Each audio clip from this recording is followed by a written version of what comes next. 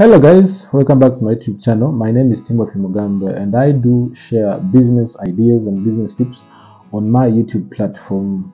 And I host a business show that I call Business Uganda because I want Ugandans really to start businesses and make money and become financially free. Uh, in this video guys, I want to explain to you how the groundnut grinder really works. I did a video like three weeks back of a groundnut grinder that we do sell in Katwe. Uh, that groundnut grinder is locally made. It's a Ugandan made groundnut machine and uh, many Ugandans have embraced using this machine not because uh, it is cheap because other machines that you know people buy let's say from China from other parts of the world which are even even scarce they are really really very expensive. So we decided to start you know making these machines to help our fellow ugandans because we know groundnut sauce is a you know a favorite a favorite sauce to many ugandans. It does not you know discriminate whether rich or poor. Many people really like this sauce. And i myself it's my favorite.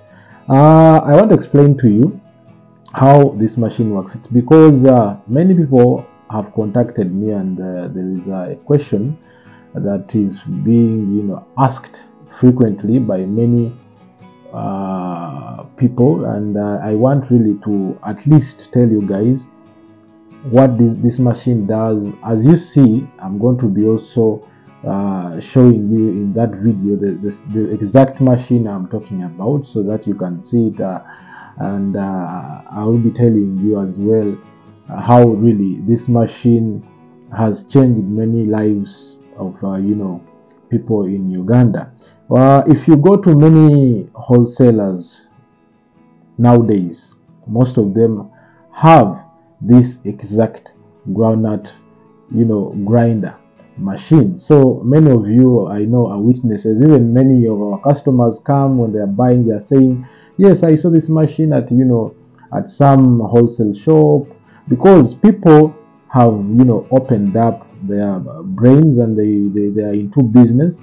Because uh, back then people used to have wholesale shops and they are selling the groundnuts you know seeds and all that. But now you find someone with a wholesale shop and he buys the machine as well. So he'll sell the groundnut uh, seeds and at the same time the person will also grind the groundnut so, so that you know he can uh, maximize the profits as well to capture more more people you know to buy from his or her own her shop. Now the machine you're seeing right there guys this machine like i've told you it's ugandan made. The motors are very good. They have uh, they, they, they have the exact horsepower that is you know managed because these machines vary with the kilograms that the machine grinds the kgs of the groundnut that the machine grinds.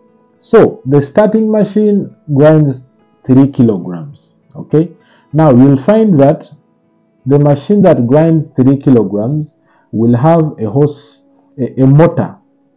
It will have a motor that you know bears a horsepower of like 3 3 horsepowers or 3.5 because we at least calculate that 1 horsepower will be able to grind at least with that speed it will be able to grind 1 kg. So if it is 3 kg we put we, we put a, a motor of 3 horsepowers okay?